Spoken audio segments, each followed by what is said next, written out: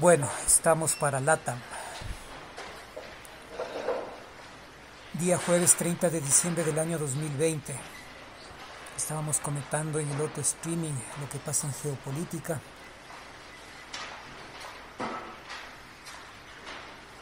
Y bueno, seguimos con el segundo streaming. Ya que la situación está sumamente fluida.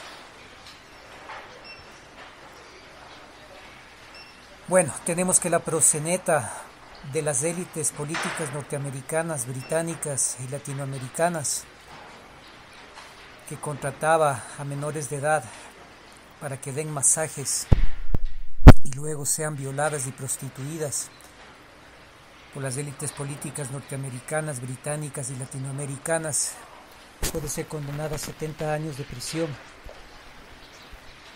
por un jurado que la ha declarado culpable de cinco de los seis delitos que se le imputaban por las fuertes evidencias. Todo esto fue hecho público hace aproximadamente unos seis o siete años por Wikileaks, en el cual se evidenció que políticos norteamericanos viajaban en el Lolita Express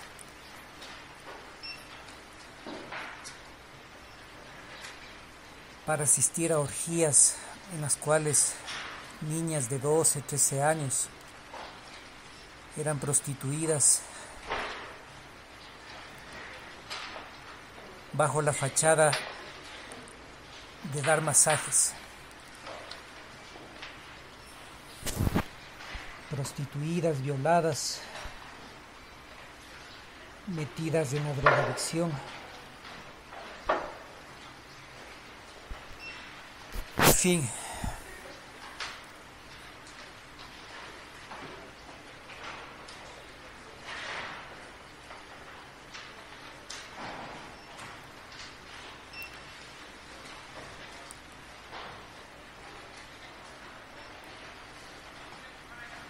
Bueno, las cosas como son. Ghislaine Maxwell era la proseneta de las élites norteamericanas y del financista económico de algunos políticos norteamericanos y amigo privado de algunos políticos norteamericanos.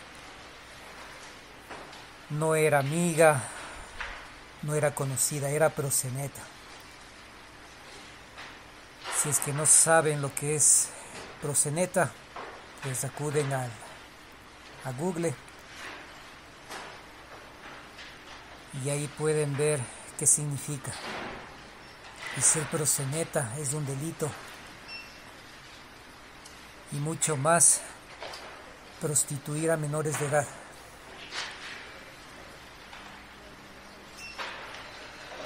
Así es, ahí está el presidente, el expresidente norteamericano Donald Trump, está el expresidente norteamericano Bill Clinton y sus amigos,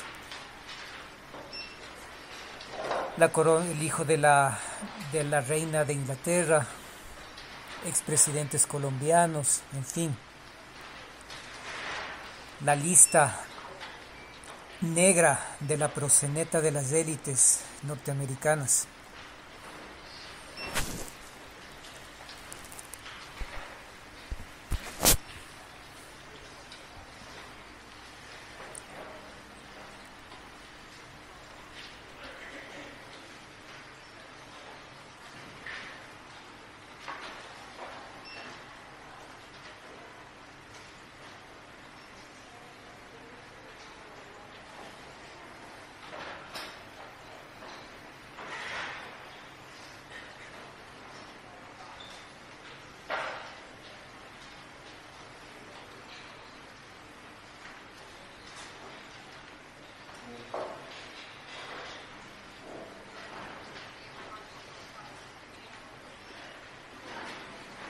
La Cancillería de Rusia advierte que el despliegue militar de la OTAN en Georgia es una línea roja para Moscú, ya que perjudicaría la seguridad del país.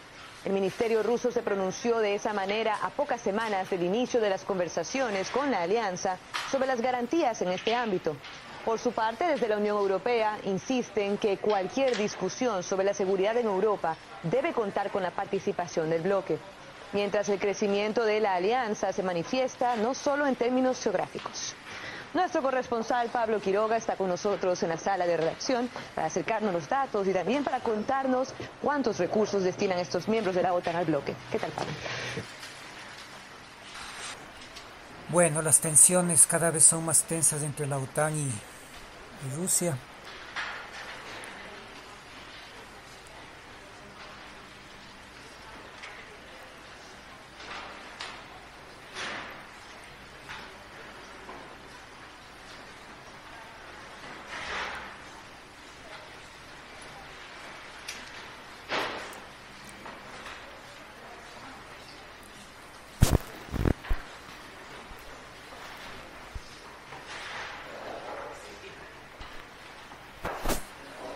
Bueno, vamos también a hacer público el testimonio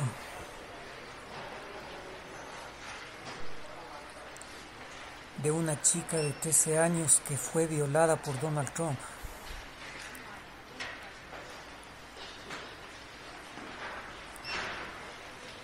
Esto fue ocultado por la policía norteamericana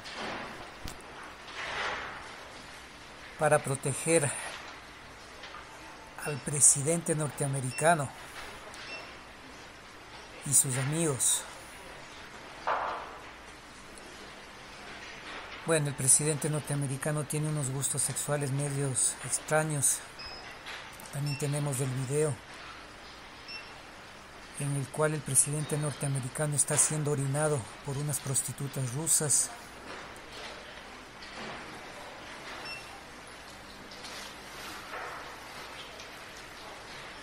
Y tenemos, nos han pasado algunos videos de su colega Bill Clinton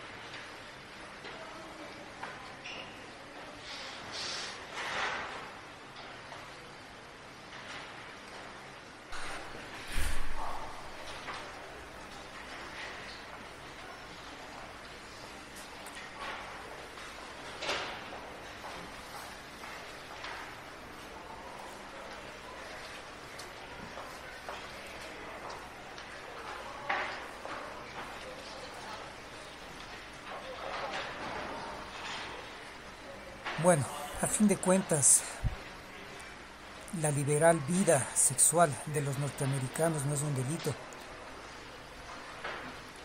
Pero que prostituyan a niñas de 13 años, que con los engaños de que son masajistas o que van a una fiesta las violen, las dejen embarazadas, las contagien de enfermedades venéreas, y luego salgan tomándose la foto en las misas evangélicas norteamericanas o protestantes.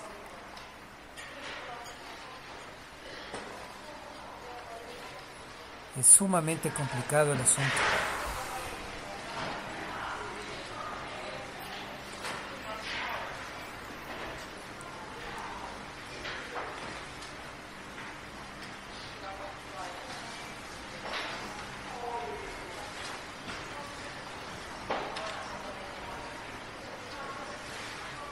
A ver, esto no es información clasificada ni nada, es información pública, de conocimiento y dominio público.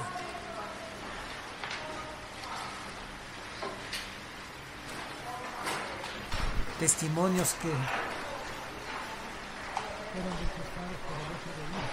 en Estados Unidos para proteger al presidente norteamericano. I came to this interview on my free will. No, there was nothing promised to me for doing this interview. Yes, everything that I say at this interview will be the truth. Um, I met Donald Trump um, at some parties I attend um, that I was working um, for Mr. Jeffrey Epstein.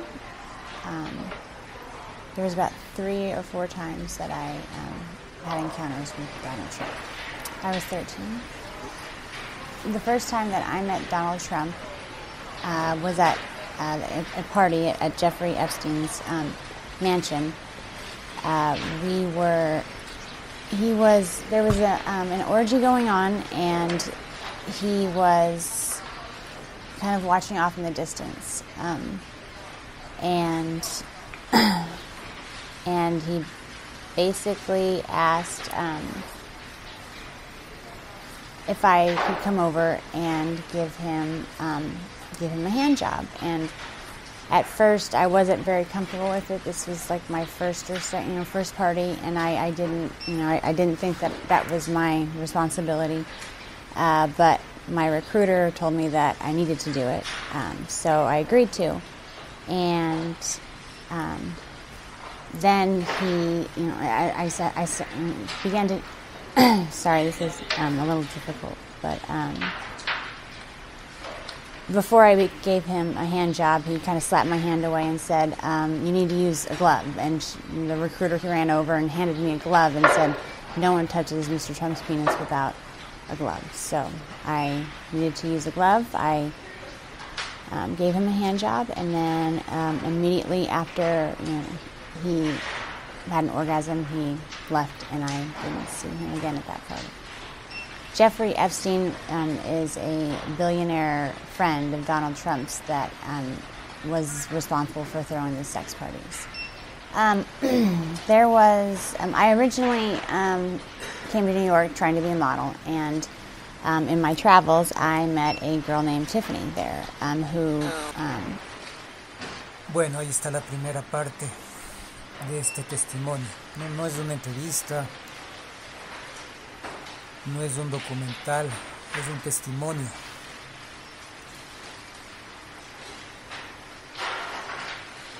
Testimonio juramentado.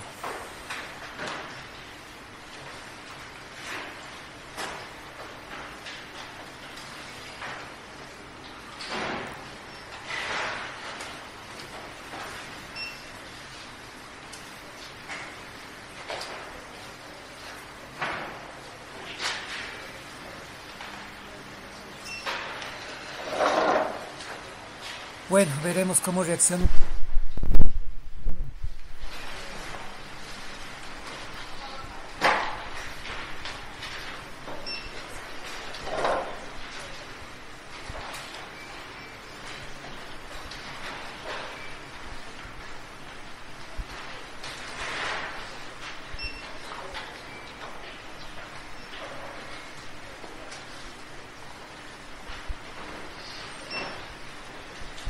Y ahora se confirma, se confirma.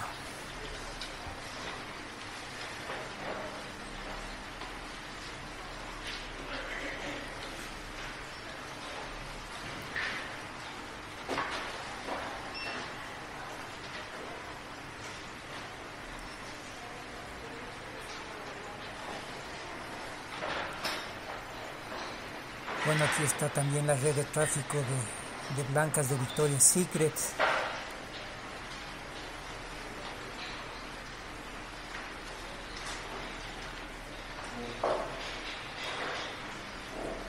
Como se dice vulgarmente, es la punta del iceberg.